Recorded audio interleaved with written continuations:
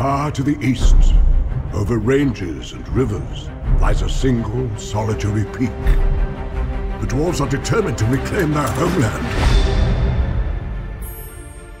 I like visitors as much as the next hobbit. But I do like to know them before they come.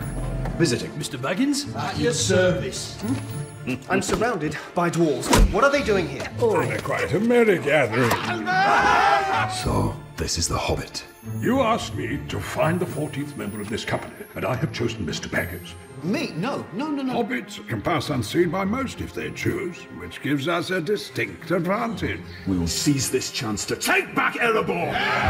Here, Mr. Bilbo, where are you off to? I'm going on an adventure! Mithrandir, why the halfling? Why Bilbo Baggins? Perhaps it is because I'm afraid.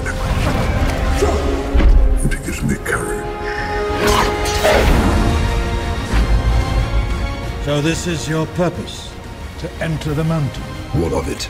There are some who would not deem it wise. A dark path has found a way back into the world. Why don't we have a game of riddles? And if it loses, what then? Well, if it loses precious, then we eat it. if Baggins loses, we eat it whole. Fair enough.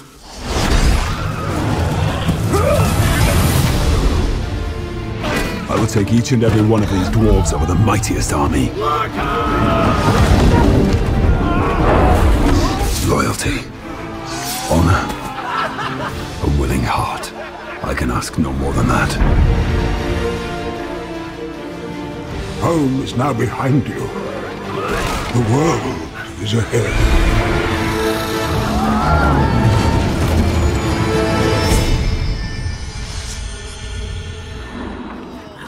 Well, that could have been worse.